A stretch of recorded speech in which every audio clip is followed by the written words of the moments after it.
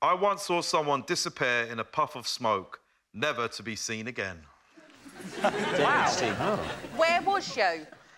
Okay, I was in college, so I was around 16 at the time.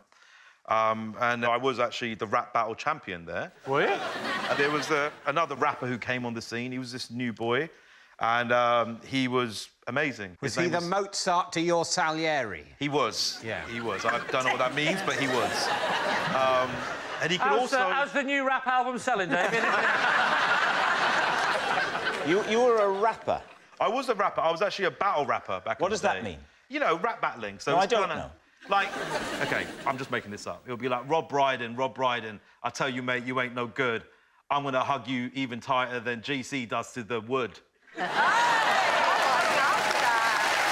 I love that.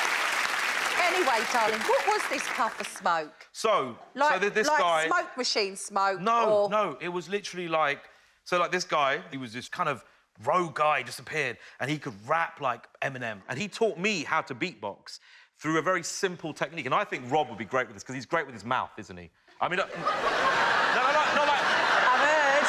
no, no, I mean, no, I mean, like, you know, he's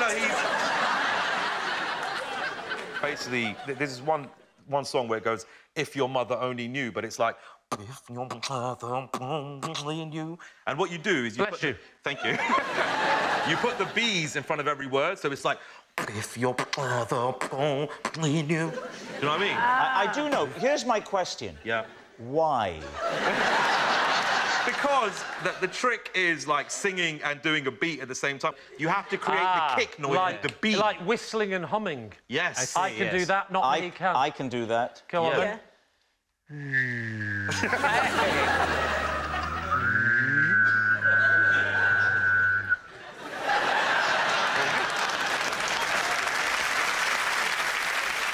Where does smoke come into this? Okay, so basically, I, he was rapping, and I realised that he basically like stole these lyrics from another rapper, and that is a big faux pas in the hip hop community. So they set him on fire. No. I confronted him in college in front of everyone, and I didn't want to make it a thing, but he was like, "No, But I you didn't." just confronted him in front. You didn't want to make it a thing. I'll just. I won't make it a thing. I'll just. I'll just confront him in front of everyone. I confronted him. I said, "Look, mate, did you steal these lyrics?" And then he was like, "What? What was that? Was that?" And he went, "Look over there." And then we all looked over there. And then he had a smoke bomb, and he went, and he disappeared. Never ever saw him again. So what?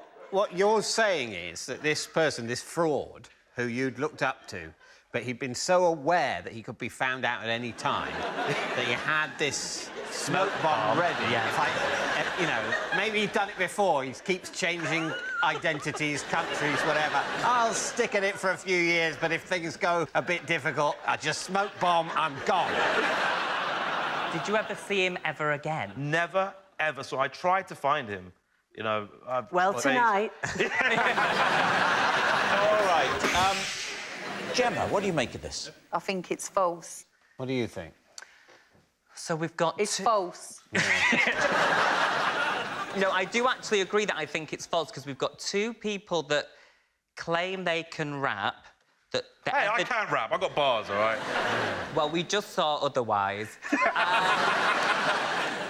I think it's a lie. I don't think bad rappers are good magicians. I mean, I like it as a sort of plan for your life. Have a smoke bomb ready, and if disappear if things are getting a bit much for you. But I don't believe it. So I'm, I think a lie. You're saying it's a lie. OK, Yes. Asim. It's a great story. Was it true or was it a lie? It was true. Ah! No way. It's true. Asim once saw someone disappear in a puff of smoke.